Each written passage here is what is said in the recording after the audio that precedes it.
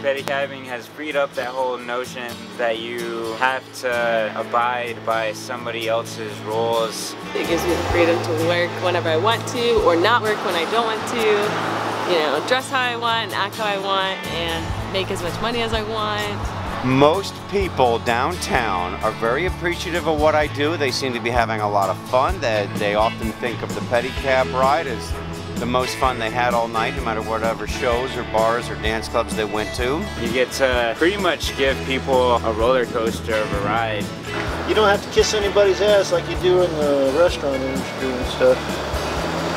So if you get a problem customer, you just kick their ass out. And it's such a good feeling.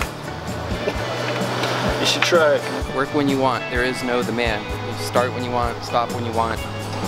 No one's cracking the whip to tell you get busy. Uh, that said, you'll have a million reasons to be busy. You'll be as busy as you want to be.